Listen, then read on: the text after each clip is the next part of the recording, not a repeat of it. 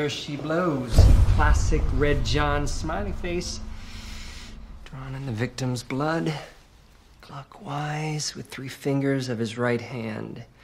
Wearing a rubber kitchen glove. I'm stoked to finally see one in the flesh. This isn't Red John. Right. Red John thinks of himself as a showman, an artist. He has a strong sense of theater. In all the previous killings, he made sure that the first thing that anyone sees is the face on the wall.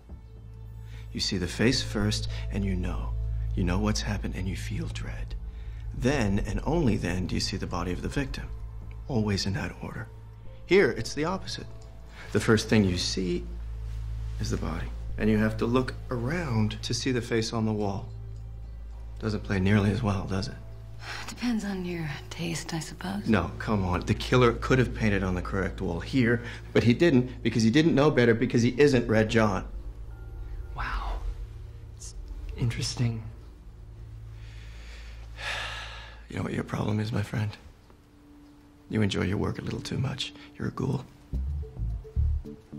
If you don't get horny reading Fangoria, I'm Britney Spears.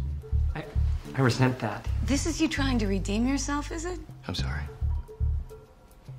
He irks me. He's irksome. You don't need me here.